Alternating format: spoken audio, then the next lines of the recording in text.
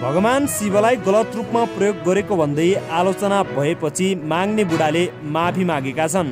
भगवान शिवलाई गलत रूपमा प्रयोग गरेको भन्दै आलोचना भएपछि निर्देशक केदार प्रसाद घिमिरे माग्ने बुढाले माफी मागेका छन्।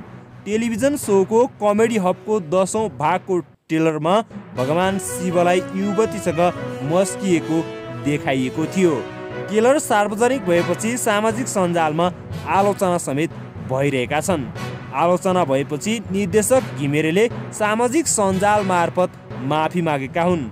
उनले कमेडी हबबाट शिवको दृश्य हटाइएको बताएका छन्। हामीले मिडिया हब मार्फतबाट निर्माण र प्रसार गर्दै आएको कमेडी हब कार्यक्रमको एक प्रस्तुति आराध्य देव महादेवलाई लिएर बनाइएको विषय प्रस्तुतिप्रति दर्शक तथा शुभचिन्तक जीवहरूले देखाउनु भएको प्रतिक्रियाप्रति हाम्रो ध्यान आकर्षण भएको छ। अन्जानमा हामीबाट भएको त्रुटि सम्पूर्ण दर्शक जीवहरू समक्ष क्षमा माग्दछौँ। साथै हामीले सम्पूर्ण दर्शक शुभचिन्तकहरूको सल्लाह र परामर्श बमोजिम यो विषयवस्तुलाई युट्युब टिकटक र फेसबुक सबैबाट हटाइसकेका छौँ।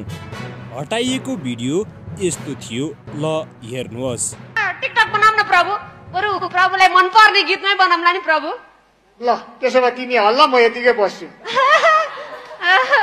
प्रभु कति सुहायो कति सुहायो।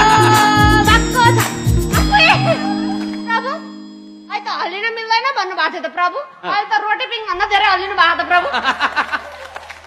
अब यति राम्री केटीले गाला टसाएपछि त हल्लिनु परेन। नटी प्रभु।